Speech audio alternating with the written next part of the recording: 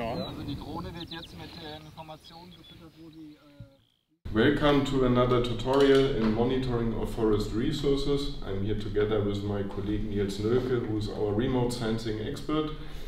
And today we will take you on a small student excursion to implement a UAV flight campaign, so a drone video. And we will guide you a little bit through the process of flight planning, flying the drone, and also show you some of the products that we can get from such a drone campaign at the end. So the total area that we want to fly in this mission is 500 hectare altogether, which is a quite huge area for a UAV campaign or mission. And we can definitely not fly it with such a toy drone, even if we can also do nice things with these small drones or UAVs. We have a larger copter here, which is also not suitable. Such a copter just needs a lot of energy to stay in the air and the range of such a copter is also limited. It has many advantages, but today for this huge area we need something with fixed wings, so something that is flying based on aerodynamic principles and where we only need maybe one motor. And the choice for today is this Inspire drone. Maybe you can Yeah, just so explain. Part of it, so there's also a fixed wing drone, but it can start vertically. So that's a huge advantage. We don't need much area for the start and landing process. And yeah, as you see, there's only a part, but it looks already quite big. So the battery is missing and the front is missing. And here we have the sensors. We have this drone is equipped with a multispectral sensor and a RGB sensor, which is a normal Sony camera, which is used here. And you can retrieve two products, so an RGB image and our multispectral image, which we need for vegetation analysis, for example. And this would be the choice for our mission. So let's uh, prepare the flight Yeah. planning and let's go out and try it.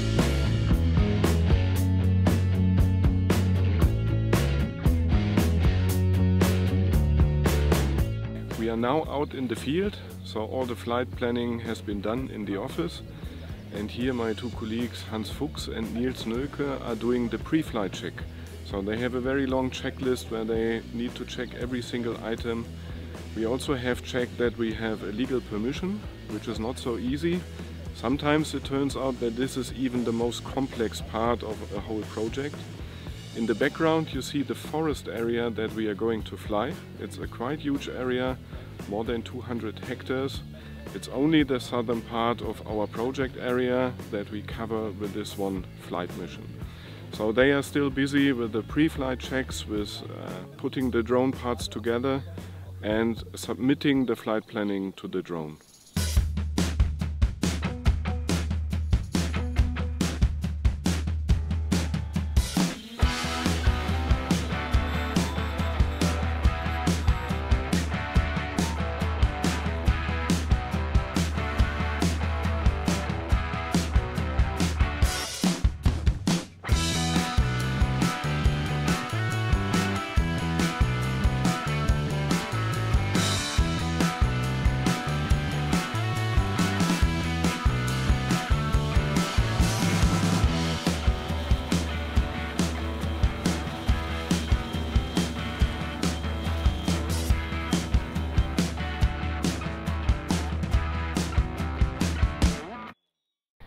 Back from the field, the real work starts. Some people underestimate all the different steps of data processing that are required to make something useful out of the tons of photos we took outside in the field. Taking the photo is the easiest part. Now we start to process the data and for this we need a lot of computational power that we have here. On the other side, Nils is already busy with the photogrammetric analysis of all of the photos we took in the field. We have some thousands of photos that need to be aligned and matched in the photogrammetric workflow that um, we see here.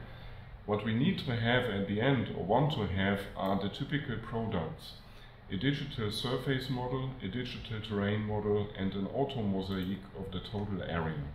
The orthomosaic already looks fine. We have a very high resolution. What we also get as a side product is a three-dimensional point cloud that allows us to create a 3D model uh, of the total forest area. This is something that is very useful to derive the digital surface model and helps us at the end to calculate the tree heights as the difference between the terrain and the surface of the crowns. It is important to remember that the photogrammetric workflow will only give us a surface model. This is different to LiDAR data that are actively penetrating the canopy. So in order to derive a terrain model, we need to identify those points that are really coming from the ground. The two different products we derived is the digital terrain model and the digital surface model.